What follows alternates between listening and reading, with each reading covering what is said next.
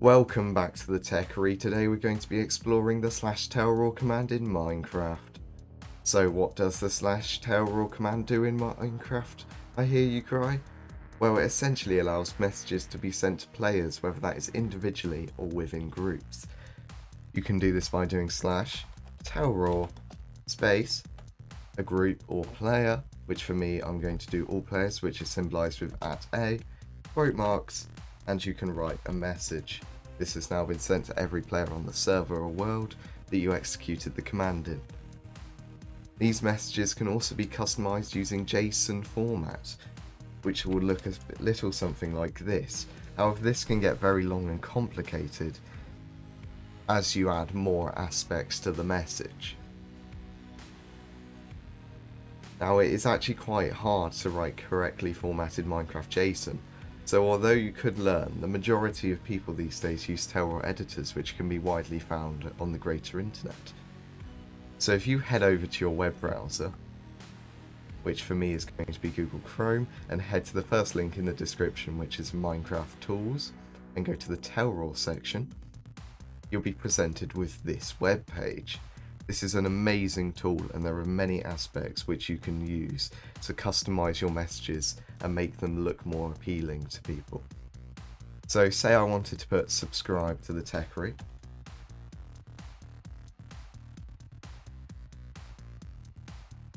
We now have written our message.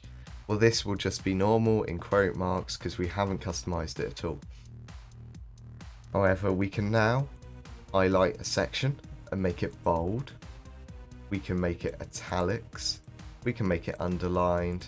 We can strike through. And we can do... So basically, it creates this effect, which you've all seen in Minecraft before. So let's undo this.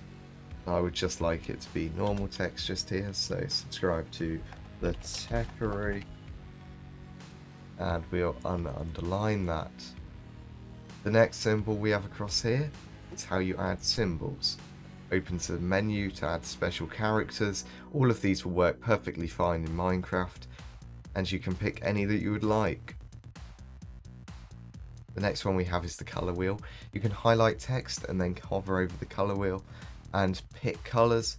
If you're on 1.16 plus, you can also have all 3.9 million colours, I'm pretty sure, at your disposal.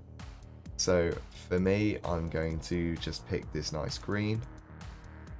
Then the Techery is going to be aqua. And these are going to be red. There we go. And if we preview this, that's what it will look like in chat. So now if we generate this command, you can now copy whichever version you're on and head back to Minecraft and paste in your chat. And now you have that message in your chat. However, as we get further through this tutorial, there is more complicated messages you can send in chat. These will require a use of a command block.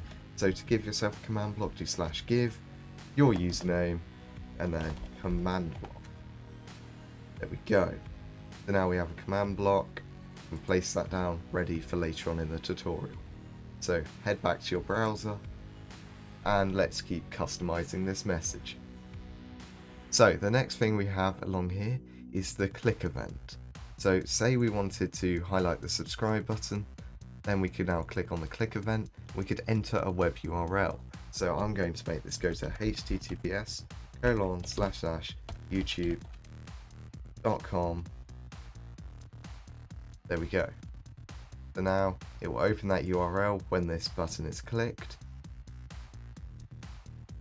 and go to it in your web browser. We can now remove this if we'd like with the remove button. And obviously we can edit it by clicking that one again. There are also other things you can do, which is copy text to clipboard, run command, suggest command, suggest text. These are all available if you would like to use them. We then have Techery, which we're going to make a hover message, which you click this one. and you can write something to be placed in the hover message. So I'm going to put Techery is the best channel.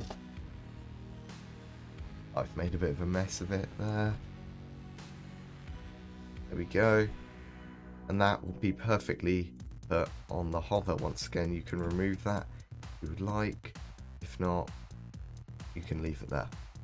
So now if we preview this, you can see this opens youtube.com and this says the best, Techery is the best channel. We can now generate that command and as you can see it is much longer. So when we copy that and go back to Minecraft, we will find that if you paste it in with Control V, it doesn't fit in your chat. This is where the command block comes in. So if you go in here and do Control V, the command will be pasted into the command block and you can hit done. You now want to get yourself a redstone torch and place it next to the command block, power it, and as you can see this has appeared in chat.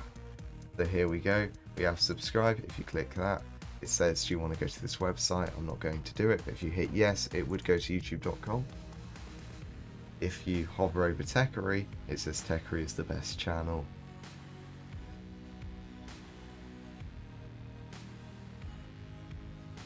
Then back to the website, you have all these other options which can change the selector of the entity, define a score to change, insert a keybind.